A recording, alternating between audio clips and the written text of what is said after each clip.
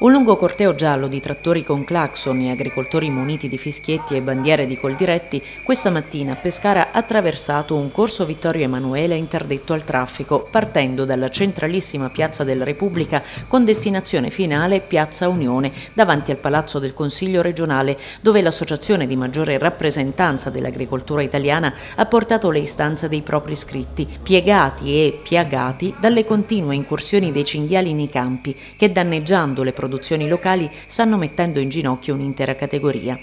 La manifestazione della Confederazione dei coltivatori diretti, organizzata a livello nazionale anche in altre piazze italiane, ha scelto Pescara per il raduno regionale degli agricoltori abruzzesi che chiedono interventi urgenti al governo, come spiega Roberto Randazzo, direttore regionale di Coldiretti Abruzzo. L'obiettivo dei la manifestazione è sensibilizzare la regione, il governo regionale che si adotti di un piano di contenimento per la fauna selvatica. Purtroppo ora come ora c'è un piano di contenimento elaborato nel 2022 a seguito della peste suina. Questo però non è sufficiente.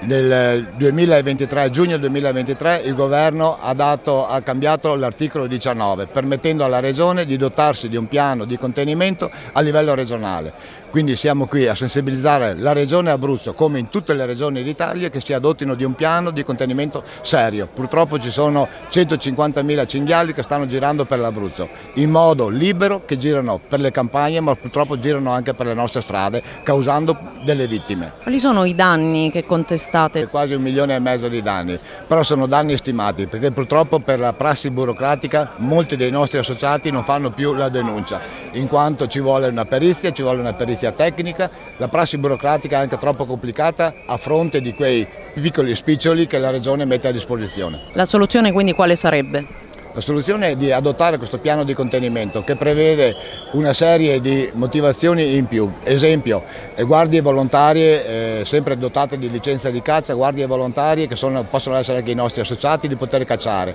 Adottare un piano che possa, si possa cacciare tutto il periodo dell'anno, compreso martedì e venerdì giorni di silenzio venatorio.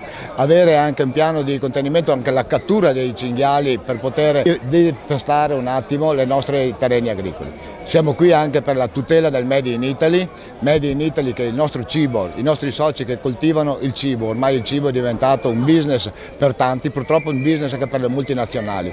Non possiamo dare adito all'associazione mediterranea, un'associazione creata da Confagricoltura all'inizio di quest'anno in simbiosi con le multinazionali. Sicuramente quelle multinazionali non sono per il cibo italiano. Se il governo non vi darà retta cosa farete? Noi siamo convinti che il governo ci darà ascolto, se il governo non ci darà ascolto oggi siamo qui in alcune migliaia e centinaia di trattori, sicuramente torneremo tra 30 giorni con ancora più gente nonostante i lavori in campagna ma torneremo per presidiare la regione. Confidiamo nella sensibilità politica della nostra regione.